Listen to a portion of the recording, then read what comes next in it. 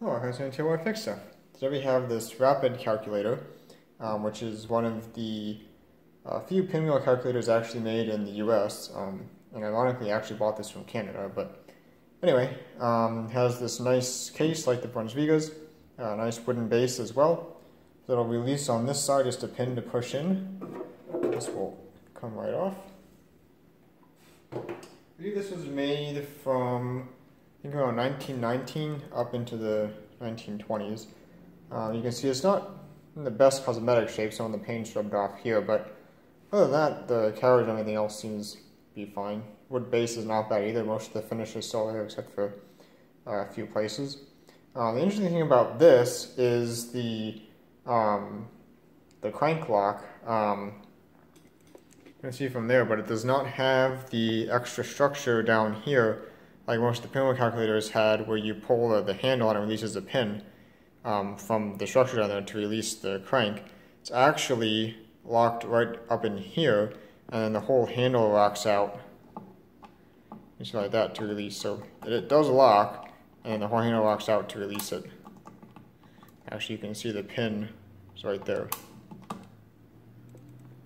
Uh, this has a tabulating carriage.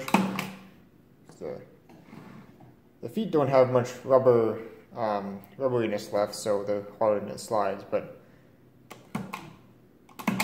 I just tab over like that and enter some stuff in the input here, just whatever.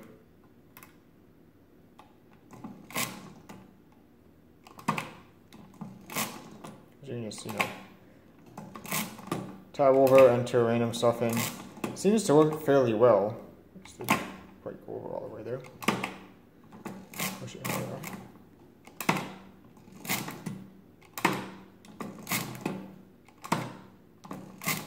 So enter some random stuff, got something in all the digits here, except for that one, but that's fine. Um, so that all works fine. Uh, carriage, or not carriage, input clearing.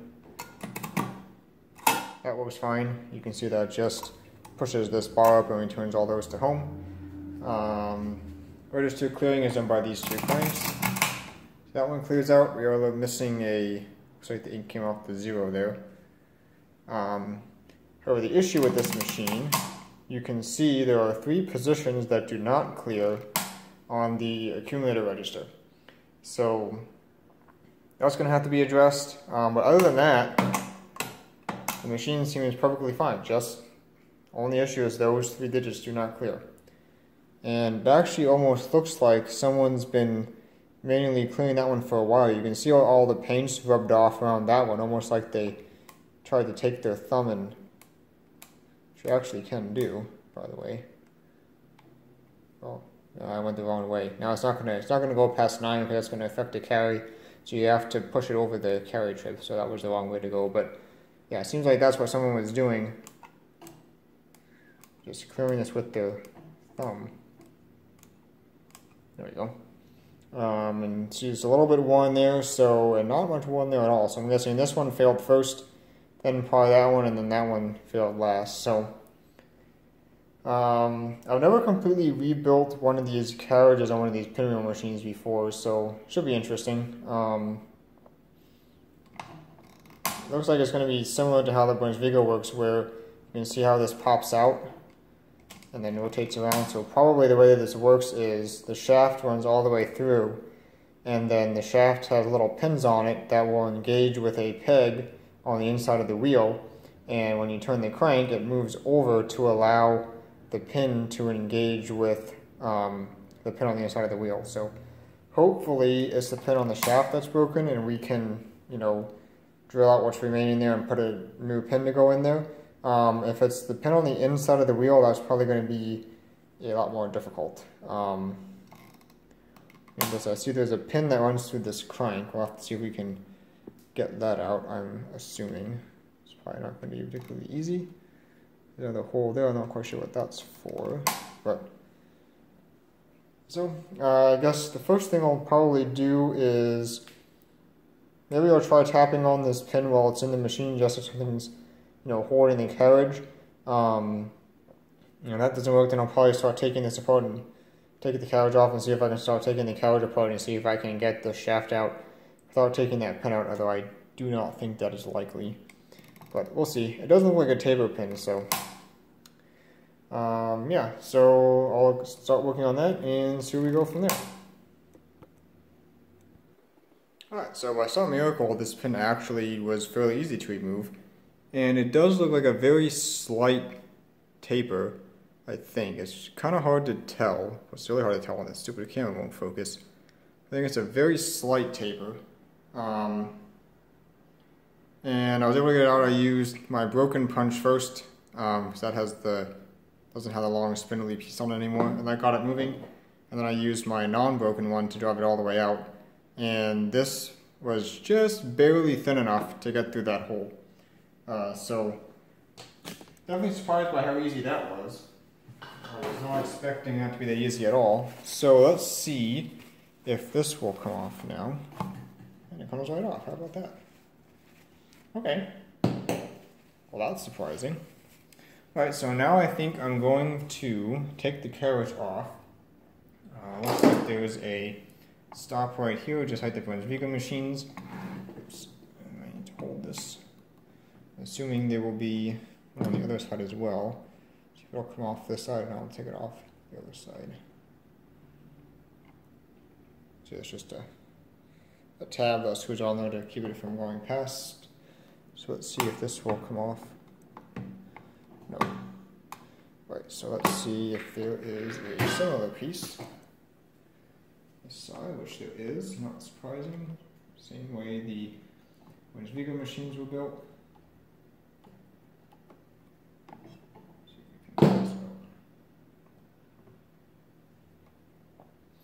Let's take this off this side.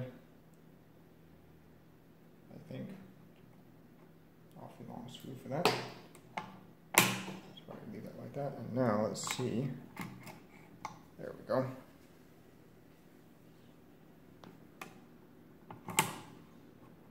And that comes right out. And that's that is amazingly clean in there. Somebody must have had that off and cleaned this before because that is way too clean. Can see that down in that carriage bed. That is way too clean for approaching 100 years old, if not 100 years old. So someone has definitely been in there and cleaned that out. It's interesting. Kind of surprised they didn't try and fix it if they were in there and did that. Uh, anyway, let's take a look at we've got here on this side. So this on the bottom looks pretty similar to Brunsviga machines. This is a bit different. The Brunsvigas have just a little tab and closer to the front. This one has a a longer tab in the middle. Um, not sure how many patents they licensed of Brunsviga, or I guess Odhner technically was the one who had the patents. Um, this looks also kind of similar to Brunsviga as well. This is just a spring-loaded thing, so that can stay out of the way. Uh, let's see if we can take these screws out. And I might want to take the covers off too, because probably when I take that out, all these wheels are going to become loose, so I'll have to have the covers off to realign them. So yeah, let me look into taking the cover off of here and then maybe take taking this piece off the side.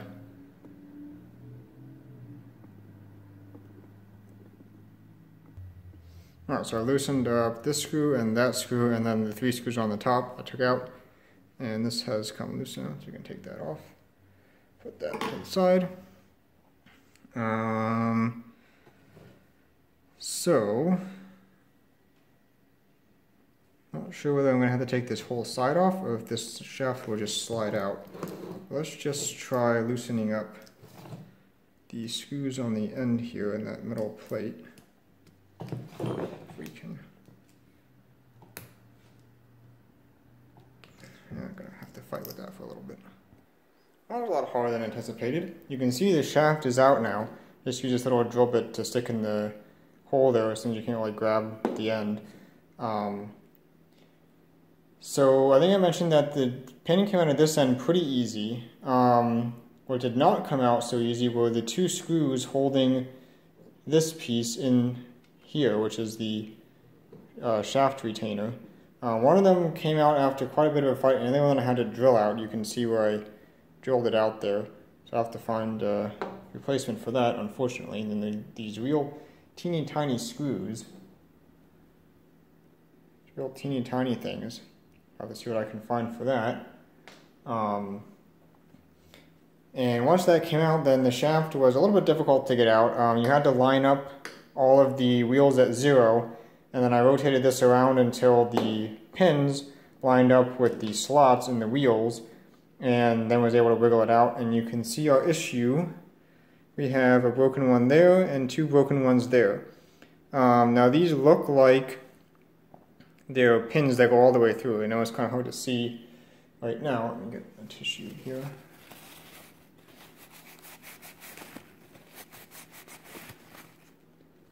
Um, but I think, hopefully, there are pins that go all the way through. Otherwise, I don't know how I'm going to fix that. It's kind of hard to see because of this uh, scraping here. But I think there are pins. We'll have to see. Um, like a, yeah, you can just barely see right there next to my thumb just barely see the outline of the back of the pin. So I'll have to see if I can drive out those two broken ones and then see what I can come up with to remanufacture them and drive them in and then see if it'll work and of course find a new screw for that. Um, see if I can get one of these out now. Looks like I can. A good opportunity to clean these. You can see how dirty that is there. That side's not too terrible on the bearing surface at least. See there's the finger for tens carry and you can see there's the slot that that rises into. You can see how this works, see how it's kind of hollow inside. So normally this would be something like that where it can rotate freely on the shaft and then when it's clearing time the shaft moves over to engage with that and then rotates this. Um, and then when it gets back to zero, the crank handle pops back in. There's a little ramp. You can see here there's this little ramp with a cutout here. When it gets back to zero, the crank drops into that uh, ditch there, which means that this shaft pops back into the middle and so it's free to rotate again. Um, so that's how that clearing works. Just drop that back in there. Um, pretty basic, pretty simple. Um, pretty much the same as the Brunsviga, really. The has pretty much the exact same setup, except instead of the crank, they have wing nuts. Um, but this, otherwise, everything else is the same. They have the same shaft with the pins um, that moves in and out. Um, Marchant was a little bit different in theirs. Instead of the shaft with the pins on it, they had a shaft with a groove in the middle of it, and they had an outer piece that had a row of holes with ball bearings in them, and that outer piece would, would rotate. So normally the holes would be lined up with the groove in the shaft, and so the ball bearings would be sitting down inside that groove. And then when you rotated the crank, the outer piece would rotate, causing the ball bearings to move up out of that shaft and then engage with the um, the holes in the gears and move them all back to zero. Um, and something else that the Marchant did that neither this nor the Brunsviga do is that it disengaged all of these um, detents. So it's a much lighter, smoother clearing action on the Marchant, um, at least the later ones. I'm not sure about the very first one, but I'm talking about like the later, um, like the XL and those Marchants. Um, it released all of these detents so that it was a much nicer, smoother clearing operation versus on like on this on the Brunsviga. Um, as you're clearing it, you're moving all the digits past the detent. So if you got like this whole register full, it's you know quite a bit of effort to move the all the numbers at the same time past all their detents back to zero. Um, and it's even more of an effort on the early Brunsvigas that were a little bit bigger than this, so you know all the springs are stronger and everything. But anyway, um, I'm definitely glad that the issue is here and not here because if these keyways here were shipped out, that would be a whole other matter altogether. I'm not even sure what I would do in that situation, but uh, hopefully we can come up with something for this. So let me first see what it's going to be like to try and drive these broken pins out. Um, and then we'll go from there. Well, there we go. Not perfect, but they're there. Um, more or less in the right spot. Um, I'm going to enlarge them a little bit. Um, you know, it's okay that they're not perfectly in line because whatever pins I put in here, I'm going to have to profile to this shape anyway. So I can account for that slight misalignment there. Uh, I think it should be just fine. Um, the important part is that they're, you know, the distance between them is correct, which I believe that is. You can see here faintly the track and that pin's right in the right in the middle of it. So uh, I think we'll be okay there. Um, so as far as the slight misalignment, I think we'll be okay there too when we profile, because here these are, you know, ground a certain way or filed or whatever. They're pointed on the top and they have this like cutout there at the bottom. Um, so I'm not sure what I'm going to use for pins yet, but whatever I do I end up with, I'll, I'll have to profile it anyway, so I'll account for the slight misalignment when I do that. Should be fine. Um, I don't have a drill press or anything, so that's my excuse for not being able to drill straight. Anyway, um, I think we just might be able to save this. Um, definitely not. I was kind of hoping it'd be a little bit easier than this, but you know, obviously none of these pins would come out. I tried tapping on them for a while and got absolutely nowhere, so that's why I ended up drilling them. Um, whatever they did, you can see they're actually more out of alignment on the bottom, but like I said, that's not, not really an issue. We'll be able to account for that. Um, whenever they did depress these in, they were just not coming out. So um, anyway, next step will be finding something to put in there. Like I said, I might make these a little bit larger and put a larger pin in, and then obviously, you know, file it to the appropriate shape and the appropriate position. But we'll see. Um, I have to find out what to use for pins yet definitely this one's definitely putting up a fight uh, between the screws that wouldn't come out. And there's actually two more screws on the bottom here.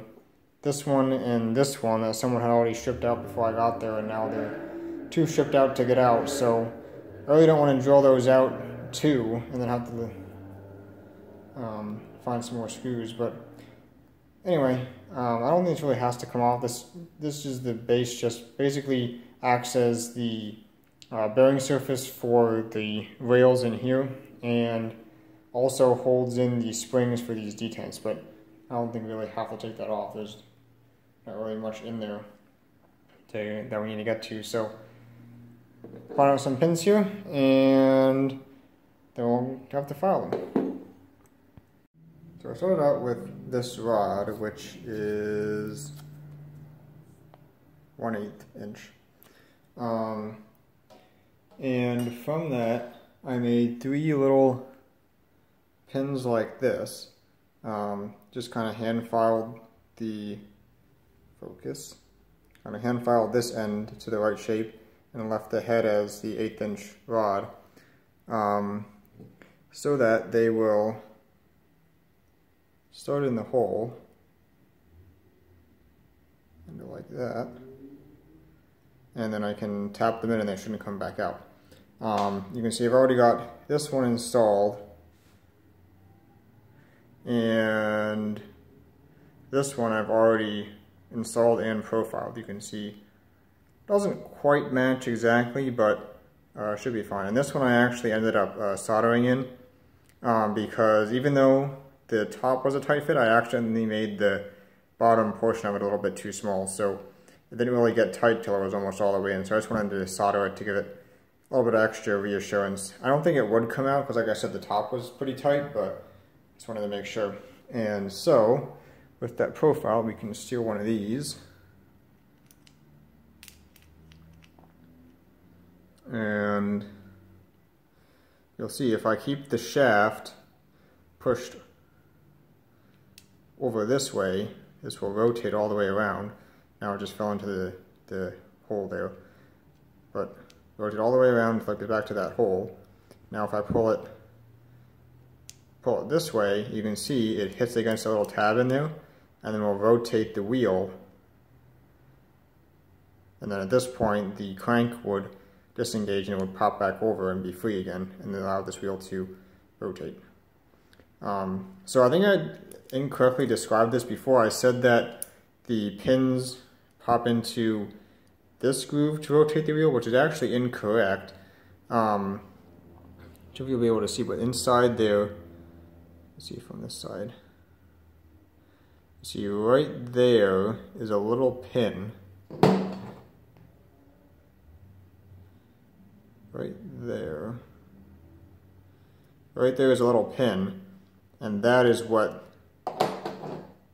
these pins go onto. So um, when it wants to clear, this shaft will slide this way to get in the path of that pin and then rotate until it hits it, and then it will push the wheel until this shaft gets back to the um, resting position, at which point it will pop back over, which is controlled by this little ramp here on the this is this is of multiple purposes. It's a bearing for the end of the shaft. Um, it has a spring to push the shaft back over, and it has the ramp that um, the crank, which I can find a crank here quickly.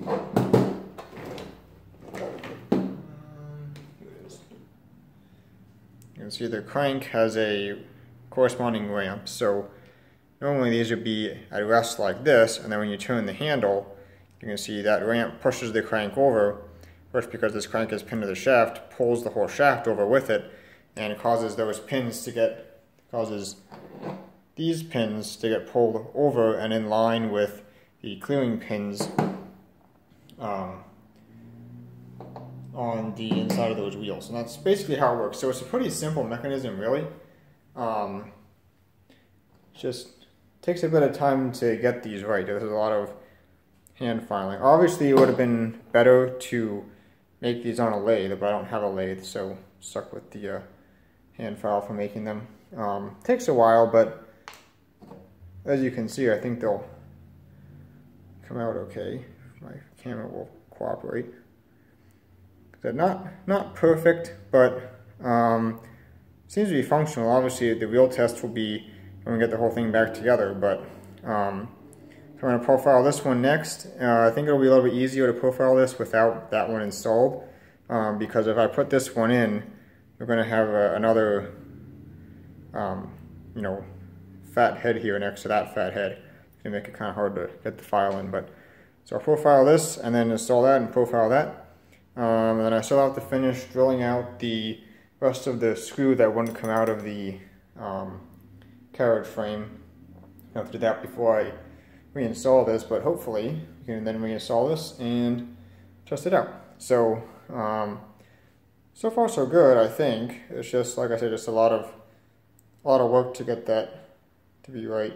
Um, and kind of the nice thing about this too, doing this the hand file way, is you can see that I made these sort of intentionally and sort of unintentionally so that the pin is offset kind of. You can see that the pin is not exactly in the center of the head, um, which works out well because my holes aren't exactly centered on where they're supposed to be. So I can install this pin in such a way, you know, I can rotate this around which will move the head different locations relative to the hole. So I can get the head, um, you know, exactly on center where I need most of the meat to be to profile this into the right position. So um, yeah, I think it'll work out okay. Alright, so I think I've got this installed for what I think is going to be the final test fit. Um, I got, just got this drill bit in here now in the pin so in the hole so I have something to grab onto. So this is in the resting position. You can see the wheels are able to turn freely. So I still have to, you know, clean and oil everything yet, but uh, they do turn. Um, these ones I have the carry detents all the way back on, so they should be able to run past 9 that way, and then we'll go past 9 the other way. Yeah, so everything is fine there. That carry trip reset. Um, so this is in the normal resting position. So how clearing would go is right now, um, this one should be at zero. There. So right now nothing should happen because they're all at zero. So this is going to rotate slightly, and then extend.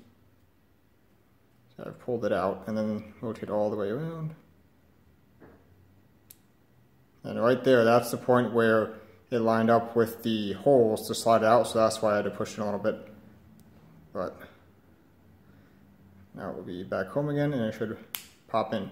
Normally there will be a spring in here that would push it back in, but I have that out for the moment so I can pull it out more easily. So, let's set some of these, we'll set. Uh, so these ones here that I've marked with Sharpie, this one, this one, and this one, are the ones that were problematic, so we should be able to, wrong one, set those all to 9, and now when we activate this,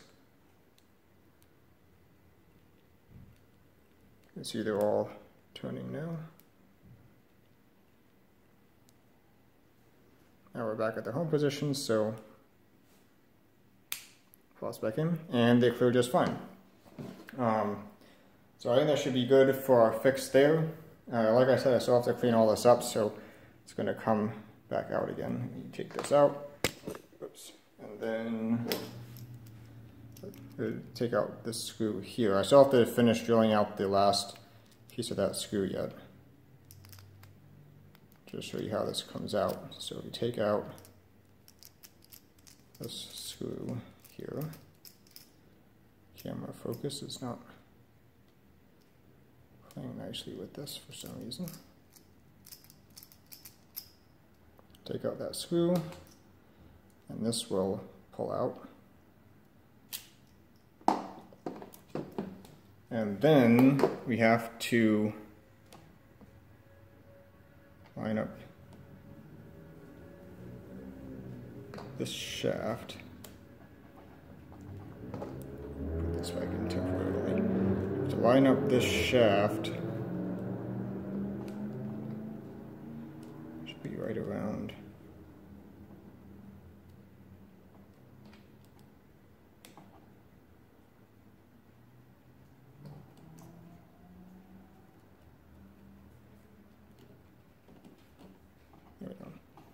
So this has to, there we go. So see how it popped? That means it's in line with those holes to slide out, and it should, ideally, just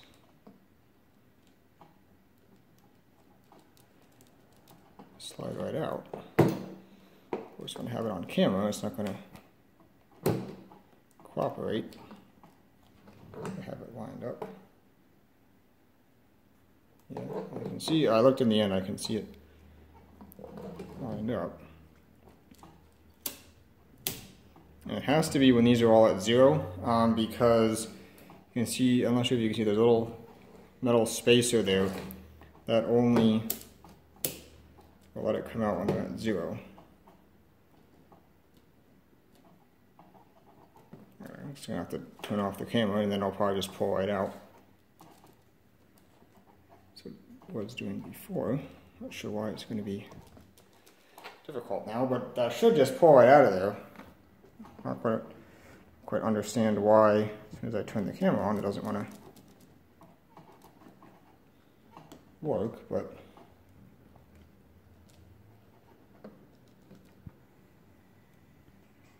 So I don't know what we're stuck on, but a little bit of wiggling and it pulled right out. Um, you can see our uh, repairs here. Um, there's one and there's the other two. This one ended up a little bit thin. Um, doing one of the test fits, I found out that it was a little bit too long in one direction, so I had to file it down. So what happened was when I made it, I just didn't make it exactly in the center of the gap. So um, it'll be okay. You know, these detents aren't super strong, so really should there really shouldn't be a huge amount of stress on each individual pin um, to clear it. So see the backside there. So did a couple of test fits. Um, like on the first test fit, some of the wheels wouldn't rotate, like the pins were too wide and they were getting stuck on the internal pin even when this was supposed to be you know, disengaged and it was all the way over. Uh, so I do some filing there. Um, one of them would push the wheel a little bit past zero, so that meant that the back here was a little bit too far out, so I had to file that down make it you know, in line with the rest of them. Um, but anyway, I think that came out okay. It seems to work. Um, so like I said, I still have to clean up um, all these pieces here. I'm not going to take this side out. You can see I've actually already reinstalled the crank on that side um, because it's really not necessary, I don't think. It would be nice to get in there and clean that, but I'm not going to worry too much about it. Um, we'll just put, shoot some oil in from the top and I think it should be fine. Um, you know, these aren't, you know, super dirty. See, there's a little bit of, it's kind of shiny. There's still a little, little bit of the old oil left on there. So they're not super dirty, but just because I have it apart, I'm going to clean them. Um, but I'm not going to worry about this because uh, even though I had the crank off here, both of these screws in the end plate are shipped out and I don't think it's really worth it to drill them out just to get this off for cleaning. I think it should be fine. So I'll clean this. Uh, I still have to drill out the end of the screw in there uh, that I drilled the head off to get that out. And then I think we should be ready to reassemble this and put the crank back on and should be done I think with the carriage repair at least. I'll have to do some cleaning on the uh, main machine mechanism but hopefully that'll be it for the carriage. Alright, so I uh, drilled the stuck, rest of the stuck screw out of the side here. Um, kind of got some of the threads a little bit, but there's still a good amount of threads in there, so that should be fine. Um, and those screws are just to make sure that the piece that goes in there, um, this piece right here, doesn't rotate. They're not to hold it like in really unless you like yanked on the crank, like pulling the crank out, but you don't do that. Um, they're just to hold this from rotating because when this is in, the spring in here actually pinches the crank and the shaft around this. So the spring isn't trying to push this out. The spring is just um, kind of like pushing the crank against the outside of this because the crank is pinned to the shaft. And so um, it just makes it so that, you know, the crank is basically pushed hard against here and then when you rotate the crank it just you know pulls the shaft into here but the crank is still pushing against the outside so it's not the spring never actually tries to push this out um, unless you literally pull the crank away from this face because normally the crank is always pushed up tight against the face of this either on the ramp or in the home position by that spring so those screws aren't actually providing any like, you know, they're not under any tension force, they're just twisting force. Um, so that, you know, when the crank tries to go up this ramp, this whole piece doesn't rotate, this just stays still. So that should be fine, I'm not worried about that. Um, just got to find a screw to go in there, and that should be okay. Uh, like I said, there's still enough threads in there that the screw gets tight, so it's not, not going to be any sort of problem. Uh, one thing that could be a problem, however, is if you look closely at the state of these pieces I've pulled out, you can see that that's not all grease. Some of these are actually rusty. Um, luckily, it looks like none of the bearing surfaces are rusty. You can see like the shiny parts where it's been actually, you know, rubbing. So um, I don't think I'm going to have any issue there. I'll just try and clean them up.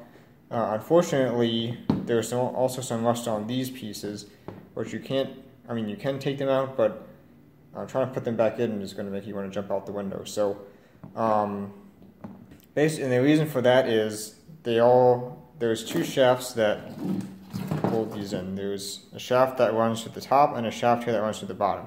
Now I've already taken the bottom one out, cleaned it up and oiled everything. Um, this shaft is fine. Um, the top one is the problem.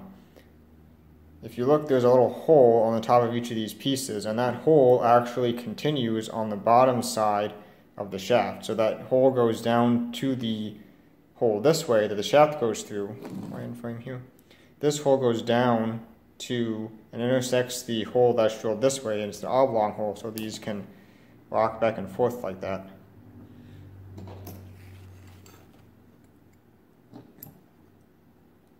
You can see they they're detented either position. Um, so there's an oblong hole that the shaft goes through so they can move back and forth on the shaft and they pivot on this shaft down here.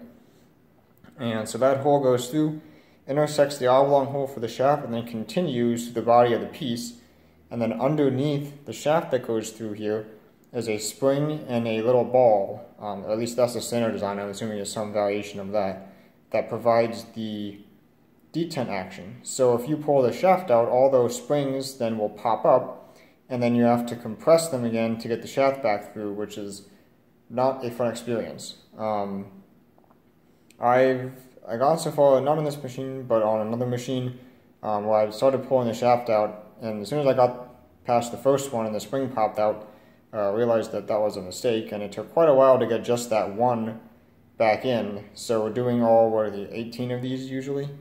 Yeah, 18 um, is not going to be a fun task. So since everything moves pretty freely, you can see these are all spinning nice and free, like there's no you know rust drag or anything. So I don't think the rust is, like I said, not on any of the bearing surfaces. It's just kind of um, on the parts that don't get you know any action. So um, what I've done is I've cleaned this out the best that I could with everything in place. Like I said, I did take this shaft out to clean that independently. Um, and then I've just soaked the entire thing with oil to prevent any more rust from forming, uh, which I think will be okay. You know, like I said, everything is working fine now. There's no sort of, rust is not causing any sort of functional issues right now, so I'm not going to be worried about that. Um, just as long as we keep everything oiled up so that no more new rust forms. I think that's going to be acceptable. And then the parts that I can clean up, like these, I will um, clean up independently before putting them back in. And you can see this one is for the uh, counter register. flip this one. Oops. This one came out of right here. And these are just the detents. I won't go back in now because I have to push the spring down and slide it back in. Um, this would be a lot easier if I could get the bottom off because that's what holds all these springs. And all these holes here are for springs that um, push these up to act as the detents. Uh, so this would be a lot easier if I get the bottom off, um, especially for these counter ones. I didn't take the shaft out. But again, um, before we got here, somebody's already stripped out this screw and this screw. And no matter what I do, I can't get them out. So it's just going to have to not come off. Um, I really don't want to have to drill those out and then find replacements for those too. So um, we can do it this way, it's just mildly inconvenient.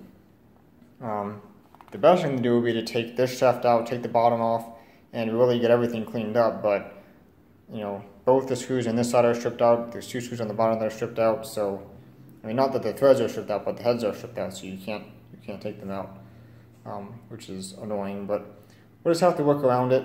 Um, you know, this register is, oh, I shouldn't have done that without that shaft then, but when the detents are working properly, this is pretty free, so not going to worry too much about that.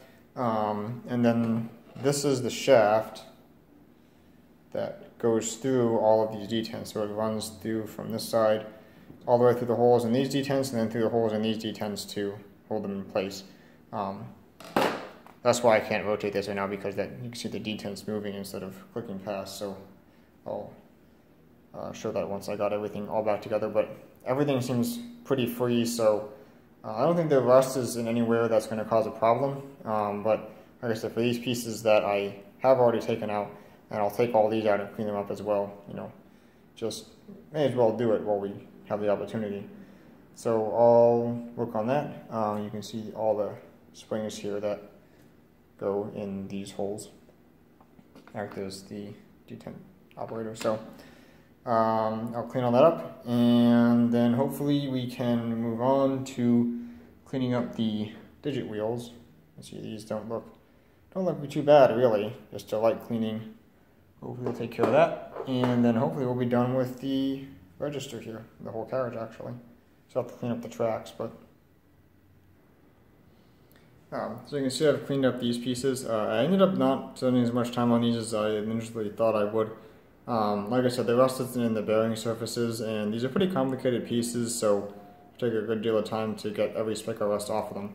And like I said, since I coated them in oil, I don't expect the rust to spread anymore anyway, so I don't think that that's going to be a big deal. Um, maybe evaporust would have been an option, but these little spacers here, which are um, attached to these pieces, actually brass. Um, I'm not sure you know how that would work in evaporust. Probably be fine, but uh, like I said, I, I don't think it's going to be a big deal. You know, these are all perfectly fine.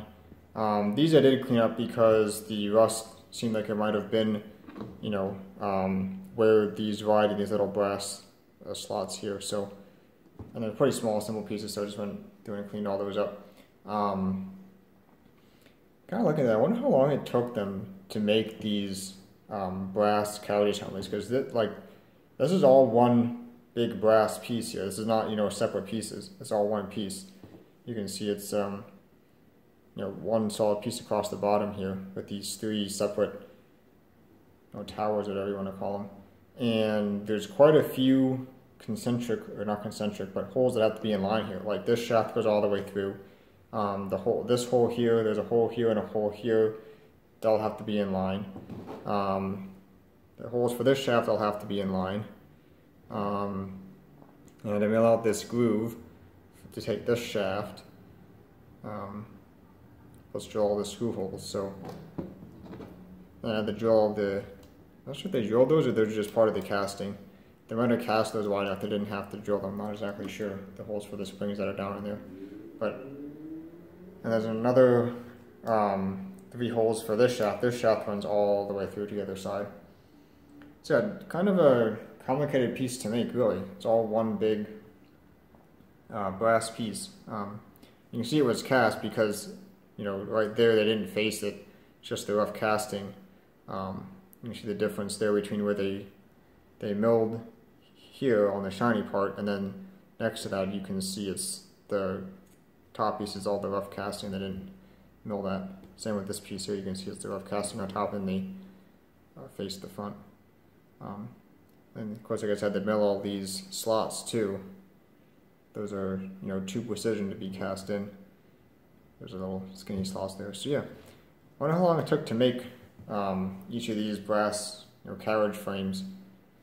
You can see that piece actually, even down in there, um, is part of the same piece too. You can see the little hole there goes through to this base plate. So, you know, when you look down in there, you're not actually seeing the base plate, you're just seeing more of that brass casting with just a little hole there you can kind of see through to the bottom and a little hole you can kind of see through to this bottom plate. So, kind of a, a big piece. Um, it's like a, definitely would take a lot of time to make that. And of course, there's some more uh, slots here on the back for I think this is the lock so that you can't clear it when the machine's in operation, and I think this is the um, lock so either you can't shift the carriage or you can't move the machine when the carriage is not locked in, or both, possibly.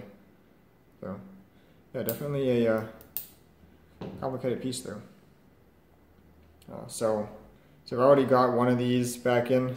Um, see now,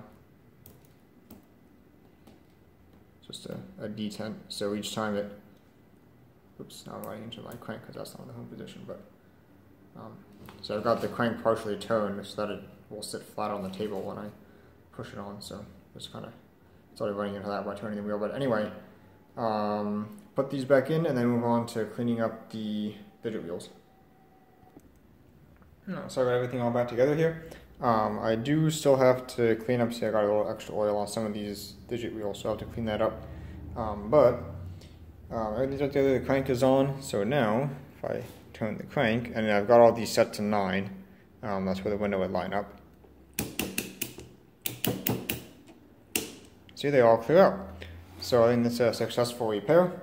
Um, I still have to clean these up yet. So I'll finish cleaning this up and then we'll move on to uh, looking into if this needs any cleaning. This seems to work fine and it feels pretty smooth so I'm suspecting hopefully we can just take this cover off and oil up the important parts and hopefully that'll be it for this one.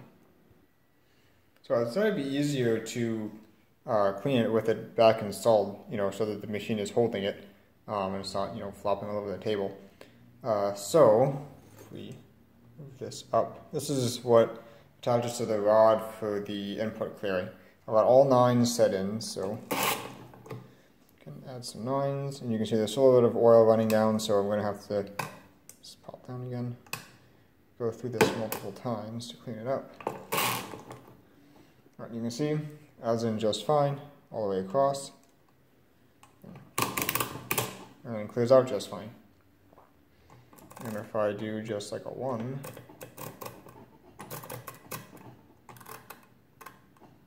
should be 1 there, so that will add in 1. So yeah, carries work just fine.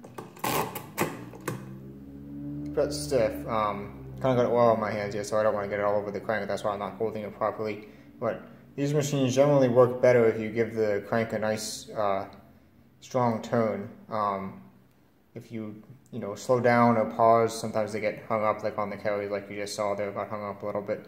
Not too bad. That's just the way, you know, all these machines that I've worked on are just that's the way they are. You just need to give it a nice, good stiff crank, and it goes right through. But like I said, if you start slowing down or not going the same speed, um, sometimes it'll hang up a little bit. But anyway, um, so far, satisfied with that. And of course, this clears right out, no problem.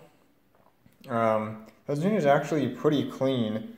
Uh, you can see there's just a little bit of like dust on top of these uh, pinwheel uh, discs you know, where the slots were in the case, but this is really not not dirty at all. If you even if you look, you know, down there in the bottom of the, I can get a good shot down there. You know, there's hardly any dirt or dust down there at all. It's really, really a clean machine. Um, we hadn't had that register issue, the clearing issue, this video probably would have been like five minutes or something. Um, just you know light cleaning oil, but ended up being a not really a big project, just a time-consuming project. So anyway, I'll keep cleaning this up until you know no more oil shows up on these uh, wheels. I just you know put a little bit too much different places, and each time you run it around, it picks up some more and brings it back up. So um, just got to get all that cleaned out. But yeah, uh, so far pretty satisfied. Um, and of course, these are all nice and smooth, so that'll just be a light you know, clean the dust off the top and put some oil in, that'll be fine. Um, yeah. I'm really, really surprised by how clean this is. Alright, so everything's all back together now. Um, you can see I cleaned up that one zero that was really dark. Uh, I initially thought that, you know, the white section had fallen out, but it was actually just really dirty. Um, I found that uh, lacquer thinner, if you're very careful, you can actually use that on these type of digit wheels. I'm not exactly sure what kind of material this is. It's not like it's not like what the Monroes use or the Marchants with like that hard white um, cellulose or whatever it is. It's not that. It almost seems to me like some kind of like like hardened rubber. not really sure, um, but the same stuff that uh, Burroughs and Brunsviga and you know pretty much the, anything that's like a dark dial with the white or colored numbers. Um, seems like is the same stuff, at least everything I've come across. And uh, it doesn't seem like it's a hard plastic. It almost seems like slightly softer. Um, not exactly sure what it is though, but anyway, so let's do one, two, three, four, five, six, seven, eight, nine, do nine, eight, seven, six, five, four, and three, two. And that is correct, so that seems to work. You can say subtract 30. That seems to work. Um, clear this out. Suppose if we subtract 1, carries over and that's the end of the carry. And we can clear that out. Yep. But if we do that again, we can add one back. Like I said, you really have to give it a stiff, quick stiff crank. You gotta stop there at the end.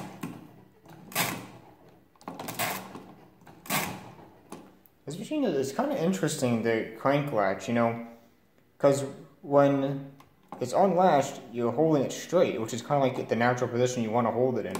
Um, you know, with the other ones that you have to pull the crank out, it remains straight whether it's out or it's in. So, you know, both of them are a natural position. And sometimes, you know, when you're doing repeated operations, it's easy to, you know, let your hand release a little bit and then the next time you come around, the pin hits the bracket. But this one actually, it's almost, you know, too easy to keep going. So it's definitely, definitely, you, know, you wouldn't think that would make a difference, but it definitely feels different.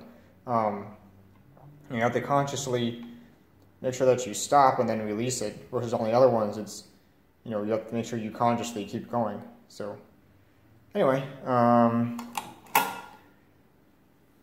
do a multiplication here, so we can do, let's do 625, and then we want to get 5 there.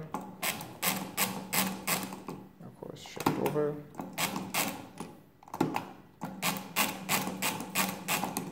And there we go, 625 times 625, that's 390625. We can do a division, so we'll do 355 divided by 1, 1, 3. bell didn't ring, might not be overflow. I think this the bell should ring when we overflow, but um, because you're right at the end here, um, the carry probably isn't in line with the bell clapper.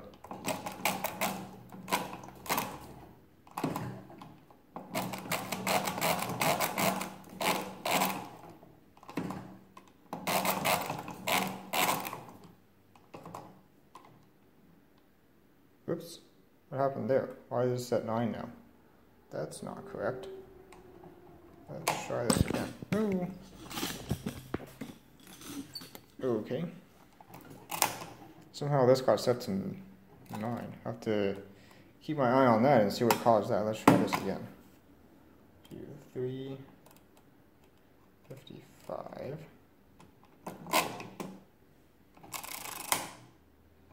One, one three.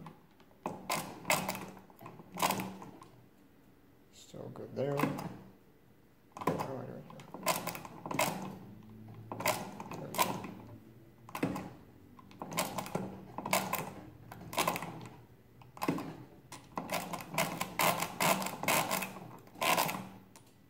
Yeah, that's up to nine. Okay.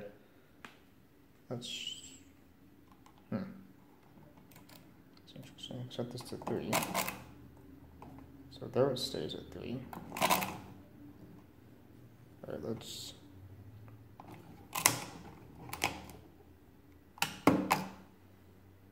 Try this once more.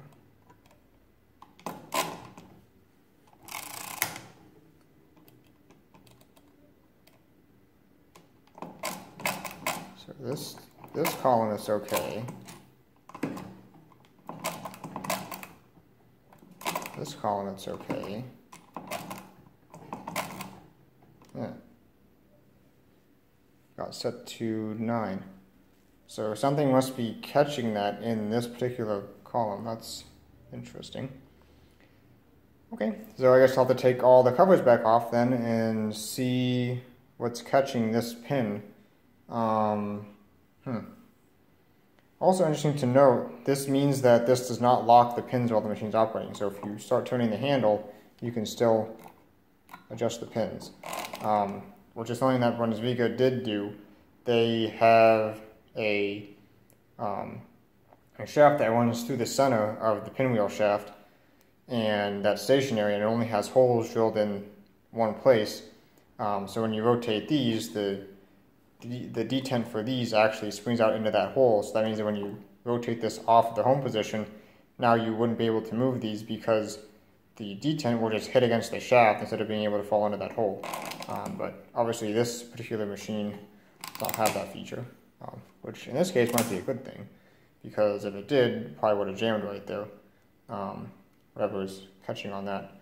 So, not quite done yet the issue was, I'm not sure if you guys see this, but in between each of these gears here and the carry um, dog thing, what do you the carry trip, see that little shoulder there? That's actually like a little washer, and somehow the shoulder on that particular position, I don't know which one it was now, got bent over, and so the pinwheel tab was catching on that. So I just bent it back over, and it seems to be fine now. Uh, as far as the bell, it seems like we're missing something. I'm not sure else is to be able to see this, but you can see the bell is over there, and this is the trip, but there's nothing that goes from this over to the bell. Um, and I tried looking under the bell to see maybe it goes down underneath the base plate and up inside the bell, but there's nothing coming up um, from underneath inside the bell either. So um, I guess they just got lost somewhere along the point, somewhere along the way rather. Um, see if you'll be able to see down in there.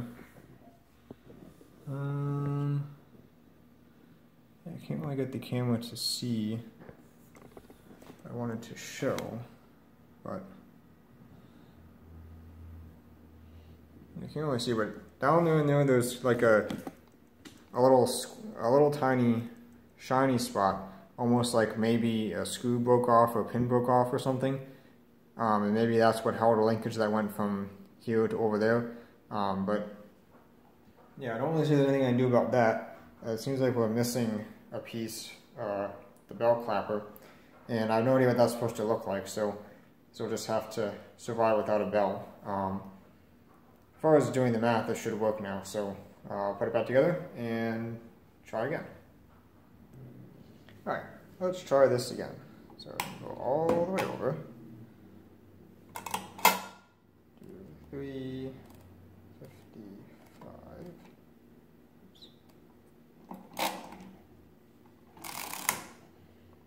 one, one, three,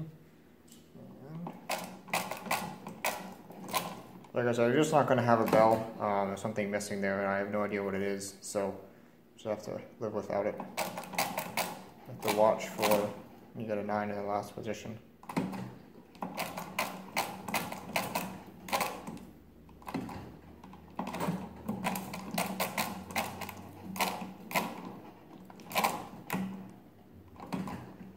quite fast enough and it got a little bit sticky.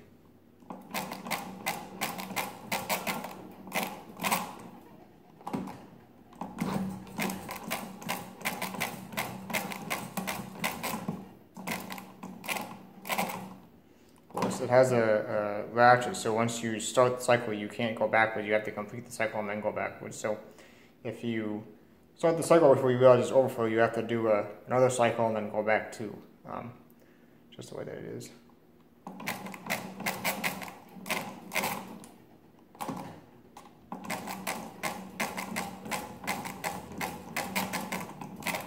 Like that, I started the cycle before I realized it overflowed, so you have to go back to.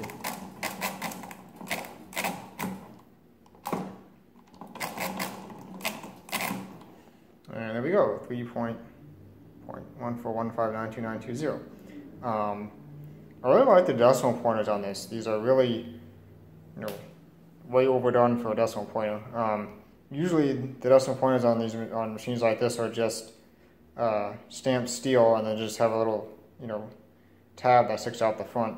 Um, and there'll be a, a stamped steel piece that's kind of folded into a box uh, that sits on here, and then with a little tab that sticks out the front. And oftentimes the little tabs break off, but these things you have to break a, a whole lot more before you broke one of these off. Um, you know, I think if you tried to break this off, you'd end up pulling the whole rail out. Uh, pretty nice. I guess they're um, machined brass and then plated. I can see the kind of the, the plating wearing off there on that one. Um, so that's nice. Uh, yeah. And of course, the issue that we fixed, if we set all lines in here.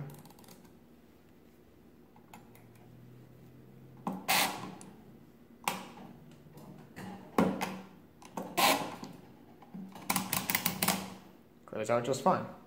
Of course, on these machines, um, you know, the more digits you have to clear and the higher the numbers, the harder it is to clear because uh, when you clear it, you're basically pushing all these digits past their detents. So if you have all nines, you're pushing the entire register full of nines past all its detents uh, to get back to zero. Um, and on the pinwheel machine, the detents have to be you know, somewhat stronger because there's no sort of positive, um, you know, overshoot protection. The detents rather do overshoot protection. So once it gets past the pins on the pinwheel, um, you know, if you're cranking this pretty fast and these wheels gain some momentum, um, you know, the only thing stopping them from, you know, overshoot, like if you enter, say, five, and you give this a quick crank, the only thing from keeping this wheel from spinning past five, you know, once it's disengaged from the pin section, uh, is the detents in this carriage here. So they have to be somewhat strong for that reason. Um, stronger than, you know, something like, uh, you know, like a Leibniz machine, like the Friden or arithmometer, or something like that, where the Leibniz shafts actually have sort of cutouts in them. Um, which acts as overshoot protection. So, you know, there's a positive lock on the Leibniz shaft.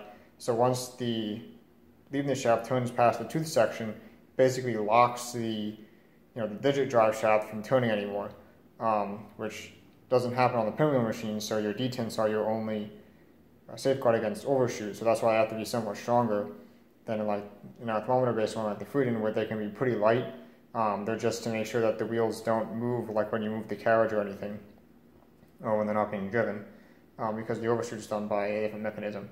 So, um, yeah, uh, so that's you know on the on this one it's not too bad. You can give it a crank and it, it's not too bad to clear out the whole register four nines. On something like the Brunsviga Model A, it's you know you're almost worried you're going to break something trying to clear the register. You know when you've got full register and it's have to clear the whole thing out. It's pretty, pretty stiff. Um, but anyway, this one's not too bad. Uh, of course, on the Marchant machines, um, at least the later ones like the XL and the XLA, uh, they figured out that they could release the detents during clearing. So as soon as you start pulling the, the clearing crank, um, it pops all the detents down, uh, which leaves all these wheels free, then it's you know pretty easy to clear those out. Um, but that's the only pinwheel machine I've come across so far that does that, I think. Um, just uh, makes it makes a big difference, but this one's not too bad. Anyway, um, that's about it for this one. Uh, it's called a success. We are working just fine. Everything clears out.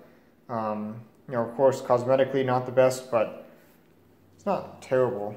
Most of the numbers are still, you know, here and, you know, colored in. So that one's kind of missing, but this could be repainted and, you know, refilled in. Looks like this was white originally, and of course you got your white and your red digits, but for now at least, I'm going to call this satisfactory.